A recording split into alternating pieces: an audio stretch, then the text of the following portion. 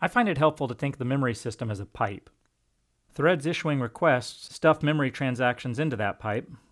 For example, these could be load instructions to read a certain address in memory, and the result of that transaction eventually falls out the bottom of the pipe to head back to those threads. Now, the pipe is really deep. It takes two or three hundred clock cycles for a transaction to move through this pipe. And the pipe is also really thick and wide. Okay, it's designed to be filled with many transactions at the same time from lots of SMs running lots of threads. So, when you only have a few threads issuing transactions, the pipe is mostly empty.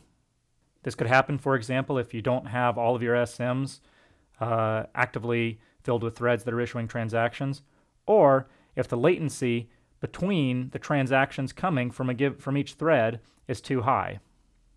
Right? So if we only have a few threads issuing transactions, the pipe is mostly empty and not many bytes are being delivered. And Little's law tells us that if not many bytes are being delivered, then our total bandwidth is going to suffer. So you can make this better by having more threads issuing memory transactions, or by having more memory in flight per thread. So here's one of those strategies. This is measured data from taking a GPU and copying a bunch of data from one matrix to another, just like we're doing. And the important thing to notice is that we're doing it in three different styles. We're doing a 4 byte word, so this is the equivalent of a single precision floating point, which is what our code is doing. An 8 byte word, for example, if we were moving double precision floating point around, that's what we would be getting.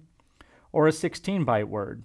And there exist in CUDA data types in the 4, 8, and 16 byte uh, variety. For example, float, which is what we've been using so far, float 2, which is two adjacent floating point numbers, float 4, which is four adjacent floating point numbers. And so one option that we could do is we could try to restructure our code around the idea of having a single thread pull in four floating point numbers at a time and do its transpose on that. That would move us up from this line in terms which is uh, percent of achieved bandwidth up to this line. That's a healthy increase. On the other hand, the sort of torquing the code around to do something that's less natural, like manipulate four single floating point values at a time, in this case, it's not a particularly natural thing to do. What we, we have coming in an array of floating point numbers or a matrix of floating point numbers, and to read them four at a time you know, in little bitty rows and transpose those into little bitty columns. We could certainly do it, but I think it borders on a Ninja topic. Uh, while this would help, this is the kind of Ninja optimization that will uh, prove useful. I don't think that it's uh, vital. Let's talk about other things that we can do. So if we can't make all of our memory transactions wider very easily, then we can try to have more transactions. Let's have a quiz. Which of our transpose kernels so far probably suffer from too few transactions? Our first version had a single thread for the entire matrix. Our next version had a single thread for every row of the matrix.